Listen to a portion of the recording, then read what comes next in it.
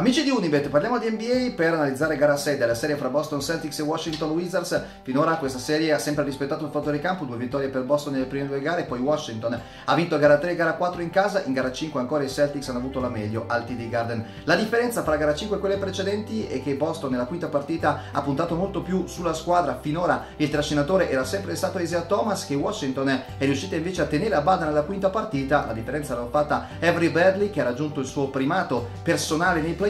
e Al Orford ancora autore di un'ottima prova. Anche in difesa i Boston Celtics hanno limitato John Wall con un grande lavoro di squadra alternando molto le marcature nei confronti dell'esterno dei Washington Wizards e così facendo Boston ha evitato le brutte partenze delle prime due gare, non ha dovuto recuperare come aveva fatto subendo dei parziali importanti anche nelle due gare casalinghe e ha controllato gara 5 fin dal primo minuto non perdendo mai praticamente il comando della partita. Adesso per gara 6 si torna sul campo di Washington, i Celtics sono più squadra e sono più forti, un gradino sopra sopra rispetto ai Wizards, però attenzione perché non soltanto in questi playoff, ma anche nelle gare in questa stagione regular season fra Boston e Washington, il fattore campo ha sempre avuto la meglio. Prevedo quindi che i Wizards possano portare la serie a gara 7, ma che i Boston Celtics poi riusciranno a prevalere all'ultima partita e prevedo un Isaiah Thomas che tornerà a essere ancora protagonista, in particolare nella settima partita. Lui è un giocatore che nei momenti cruciali non sbaglia mai in un'eventuale gara 7 al TD Garden. Penso che Isaiah Thomas sarà assoluto protagonista, però occhio al fattore campo perché in questa serie finora chi ha giocato in casa sempre sempre vinto e quindi prevedo che Washington possa portare a casa gara 6.